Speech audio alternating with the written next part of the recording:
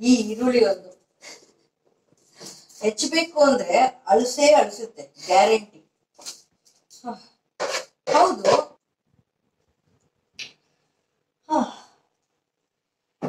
ಇದು ಒಂದು ತರಕಾರಿ ತಾನೆ. ಮತ್ತ್ಯಾಕೆ ಇದ್ರಕ್ಕೆ ಅಷ್ಟೊಂದು ಅನ್ಯಾಯ ಮಾಡ್ತಾರೆ. ಹಬ್ಬ ಹುಣ್ಮೆ ಆದ್ರೆ ಈರುಳ್ಳಿ ಹಾಕ್ಬೇಡಿ ಅಂತಾರೆ.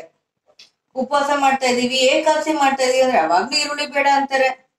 ಅಂತದೇನ್ ಪಾಪ ಮಾಡಿರೋದಿದು? ಬನ್ನಿ ನಿಮ್ಗೆ ಇದ್ರದ್ದು ಒಂದು ಇಂಟ್ರೆಸ್ಟಿಂಗ್ ಕತೆ ಹೇಳ್ತೀನಿ.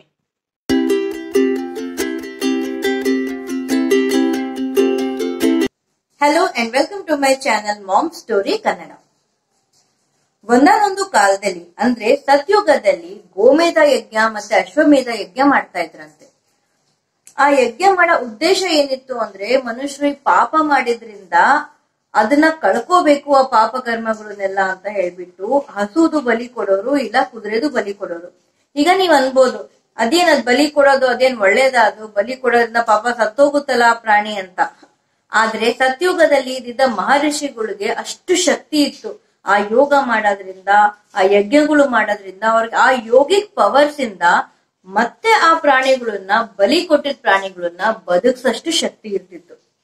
ಸೊ ಅದೇ ರೀತಿಯಿಂದ ಒಂದು ಅದೇ ರೀತಿಯಿಂದ ಅವರು ಯಜ್ಞ ಮಾಡಿದ್ರು ಕೂಡ, ಬಲಿ ಕೊಟ್ರು ಕೂಡ ಆ ಪ್ರಾಣಿಗಳನ್ನ ಮತ್ತೆ ಬದುಕಿಸೋರು. ಇದೇ ತರ ಒಂದು ದಿನ ಏನಾಯ್ತು ಅಂದ್ರೆ ಗೋಮೇದ ಯಜ್ಞ ಮಾಡ್ತಾ ಇದ್ರು. ಗೋಮೇದ ಯಜ್ಞ ಮಾಡ್ತಾ ಇರ್ಬೇಕಾದ್ರೆ ಹಸುದು ಬಲಿ ಕೊಟ್ಟಿದ್ದಾಯ್ತು. ಯಾವ ಮಹರ್ಷಿ ಅದರ ಯೋಗ ಮಾಡಿ, ಯಜ್ಞ ಮಾಡಿ ಅದನ್ನ ಮತ್ತೆ ಬದುಕ್ಸ್ಬೇಕಾಗಿತ್ತು, ಆ ಮಹರ್ಷಿ ಪತ್ನಿ, ಅಂದ್ರೆ ಅವ್ರ ಹೆಂಡತಿ ಬಸ್ರಿ ಇರ್ತಾಳೆ. ಬಸ್ರಿಗೆ ಬೈಕೆ ಅಂದ್ರೆ ಬೈಕೆ.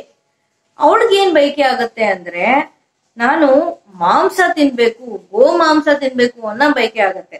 ಅವಳೇನ್ ಮಾಡ್ತಾಳೆ, ಆ ಬೈಕೆ ತಡಿಲಾರ್ದಳೆ ಕಳ್ಳತನದಿಂದ ಆ ಮಾಂಸದ ಒಂದು ಸಣ್ಣ ಪೀಸು ಕದ್ದು ಬಿಟ್ಟು ಇಟ್ಕೊಂಡ್ಬಿಡ್ತಾಳೆ ಅವಳ ಹತ್ರ.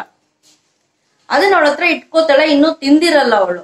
ಅಷ್ಟ್ರೊಳಗೆ ಏನಾಗುತ್ತೆ ಅಂದ್ರೆ ಆ ಹಸು, ಬಲಿ ಕೊಟ್ಟ ಹಸು ಮತ್ತೆ ಜೀವ ಬರುತ್ತೆ, ಮತ್ತೆ ಅದು ಪೂರ್ತಿ ಪ್ರಾಣ ಬರುತ್ತೆ ಅದಕ್ಕೆ.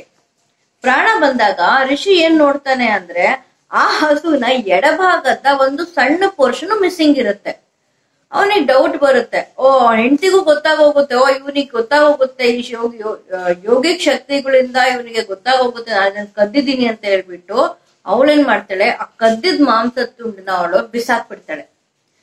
ಸೊ ಕಥೆ ಏನಿದೆ ಅಂದ್ರೆ ಆ ಮಾಂಸ ತುಂಡಿದೆಯಲ್ಲ, ಆ ಮಾಂಸ ತುಂಡು ಒಂದು over a period of time ಅಂದ್ರೆ ಒಂದ್ ಸಮಯದ ನಂತರ ಅದು ಈರುಳ್ಳಿ ಆಗುತ್ತೆ ಅಂತ.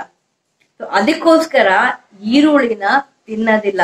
ಈಗ ವ್ರತಗಳಲ್ಲಿ ತಿನ್ನೋದಿಲ್ಲ, ಕೆಲವೊಂದು ವಾರಗಳಲ್ಲಿ ತಿನ್ನೋದಿಲ್ಲ. ಇನ್ಫ್ಯಾಕ್ಟ್ ಬ್ರಾಹ್ಮಣರು, ಜೈನ್ಸ್ ಅವರೆಲ್ಲ ಈರುಳ್ಳಿನ ತಿನ್ನೋದೇ ಇಲ್ಲ. ಸೊ ಈ ರೀತಿ ಈರುಳ್ಳಿ, ವೆಜ್ಜೋ ನಾನ್ ವೆಜ್ಜೋ ನನಗಂತೂ ಗೊತ್ತಿಲ್ಲ. ಕತೆ ಕೇಳಿದ್ಮೇಲೆ ನೀವು ಇದನ್ನ ಡಿಸೈಡ್ ಮಾಡ್ಕೊಳ್ಳಿ. ನಾನು ಇವಾಗ ನಿಮ್ಗೆ ಹೇಳಿದ ಕಥೆ ನನಗೆ ಹೇಗೆ ಗೊತ್ತಾಯ್ತು? ಅದ್ರ ಬಗ್ಗೆ ನಾನು ನಿಮ್ಗೆ ಡಿಸ್ಕ್ರಿಪ್ಷನ್ ಅಲ್ಲಿ ಒಂದು ಲಿಂಕ್ ಕೊಟ್ಟಿದ್ದೀನಿ. ಆ ಲಿಂಕ್ನಿಂದ ನನಗೆ ಈ ಕಥೆ ಕಂಡು ಬಂತು. ಇವತ್ತಿಗೆ ಇಷ್ಟೇ ವೀಕ್ಷಕರೇ ನಾನು ನಿಮ್ಗೆ ನೆಕ್ಸ್ಟ್ ಎಪಿಸೋಡ್ ಅಲ್ಲಿ ಮತ್ತೆ ಸಿಗ್ತೀನಿ. ಇನ್ನೊಂದೇನಾದ್ರೂ ಇಂಟ್ರೆಸ್ಟಿಂಗ್ ಇನ್ಫಾರ್ಮೇಶನ್ ಇಲ್ಲ ಇನ್ನೊಂದ್ ಯಾವ್ದಾರ ಇಂಟ್ರೆಸ್ಟಿಂಗ್ ವಿಡಿಯೋ ತಗೊಂಡ್ಬರ್ತೀನಿ ನಿಮ್ಗೋಸ್ಕರ. ನಿಮ್ಗೆ ಇದು ಇಷ್ಟ ಆದ್ರೆ ಖಂಡಿತ ವಿಡಿಯೋನ ಲೈಕ್ ಮಾಡೋದು ಮರಿಬೇಡಿ ಮತ್ತೆ ನನ್ನ ಚಾನಲ್ಗೆ ಸಬ್ಸ್ಕ್ರೈಬ್ ಮಾಡಿ. ಸೊ ಬರ್ತೀನಿ. ನಮಸ್ಕಾರ. Take care and stay tuned to my channel mom story